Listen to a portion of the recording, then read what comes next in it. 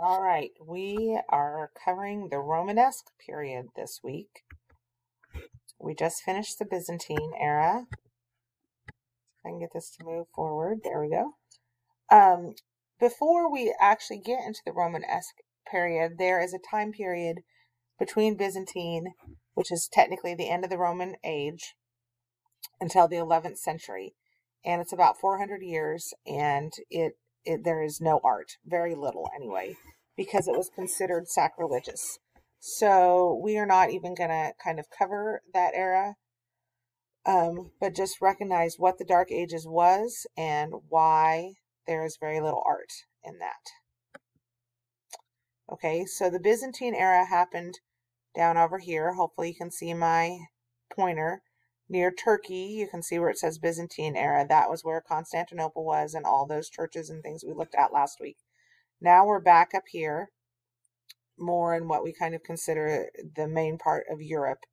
Okay, and um, notice it looks a little different, like the Roman Empire is in a different place. We now have these Norman kingdoms, but basically we're covering all of the this green and pink and purple area here. Okay. So once again, in the Romanesque period, art and architecture are all settled around the church. Um, it is still a fairly um, rural settings, and so the church was the center of the cities and the cultural areas, and people would come in from the rural areas to go to the church. So that is where all the art is. And um, if you go over to Europe, you will still be able to see quite a few Romanesque churches standing today, mainly in France, Germany, and Italy, but they're really all over the place.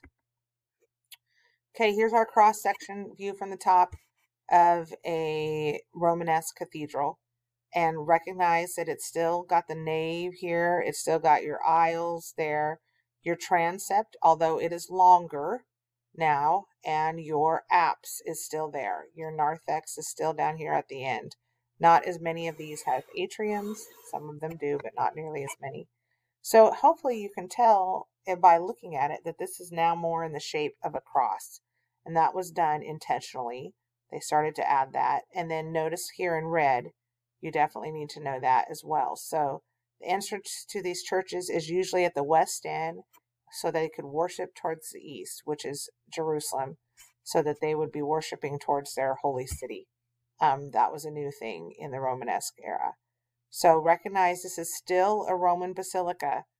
It's just got a few, you know, changes, minor changes to it, but it's definitely not Byzantine because there are not the rotundas all over the place like there were on the last one.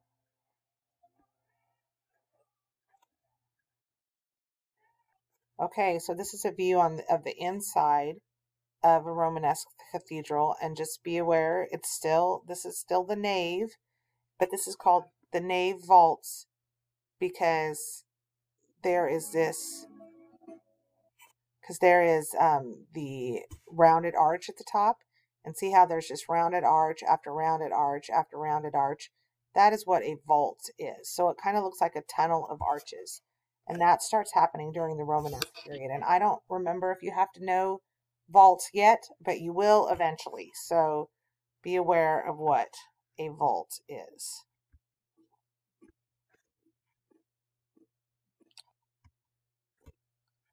I can get this to move forward here. All right, so this is kind of a typical Romanesque cathedral. You do not have to know the name of this one. Sorry, won't move too fast here. Um, you just have to be able to recognize it as Romanesque. So you can see the definite cross shape how the transept is longer there. Okay, you can see your apse, your narthex, your aisles, and your nave right here. But the big new addition is this big tower on the top. And often um, it would be right in the middle of this transept and the nave crossing, the intercept there. And they would call that a lantern. Um, and it's a lantern because of it looks like lantern, right? I don't know how else to describe it um, all these little windows. It gets a little narrower as it goes up. It's not completely straight. Um, and it has that big point on the top. That makes it a lantern. Here's the view from the front, and you can see the lantern. They would also sometimes add towers, and we'll look at those different. Um, and we'll look at how they're different here in a little bit. in the next couple days. But uh, this one is definitely a lantern and it's on the transept. And that is pretty typical Romanesque. I will show you a few that have a tower in a different place later on this week. All right, but this is where we're going to stop. So make sure you can recognize that as a Romanesque cathedral.